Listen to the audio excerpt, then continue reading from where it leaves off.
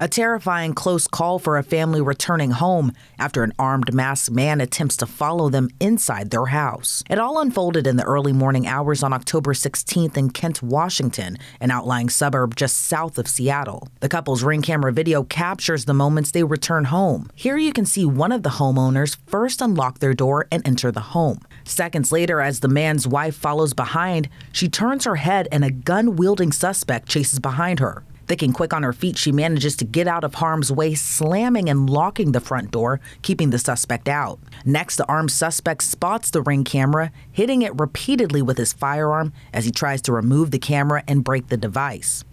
The unnamed wife told a KOMO News reporter she believed the suspect may have followed the couple home after their night at a casino, and they had just gotten home when she had suddenly noticed the masked armed man behind her in their driveway.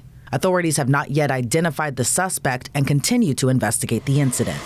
A Kent PD spokesperson told local reporters they are not ruling out whether the suspect could be linked to similar home invasions targeting Asian families that started last summer. Reporting for Law and Crime Network, I'm Elizabeth Millner.